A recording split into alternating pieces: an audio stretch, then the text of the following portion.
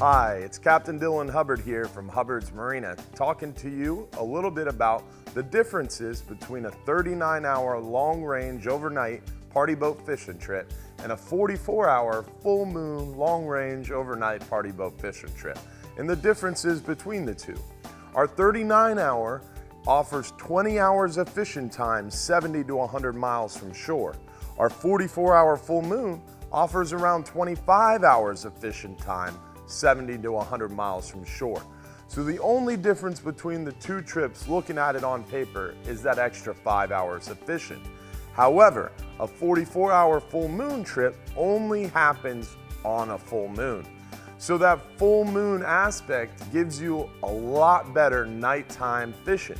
So because of that, the 44 hour full moon trip leaves five hours earlier. Our 39 hour departs at 3 p.m. Our 44 hour departs at 10 a.m. So in, in essence, that 44 hour trip gives you more night fishing time to capitalize on that full moon snapper bite. So a 44 hour full moon trip leaves about 10 a.m. You start fishing around 7 to 9 p.m. that night and you fish until about 7 to 9 p.m. the next night. Whereas a 39 hour trip departs at 3 p.m.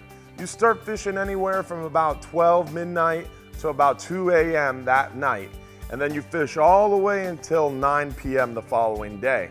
So the 39 hour gives you a lot of fishing time, but the 44 hour gives you more night fishing time.